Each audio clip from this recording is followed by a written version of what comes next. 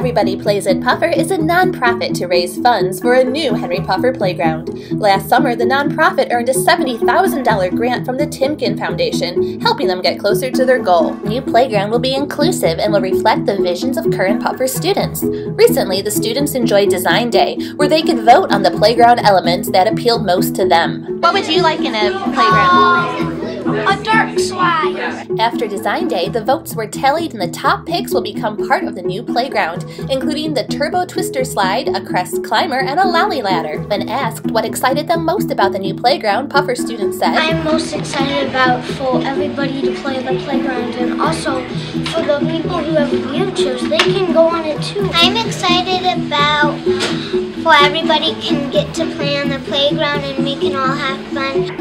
I'm most excited about to play on the playground and everybody to play on the playground. Thank you, Henry Puffer, for sharing your Design Day experiences.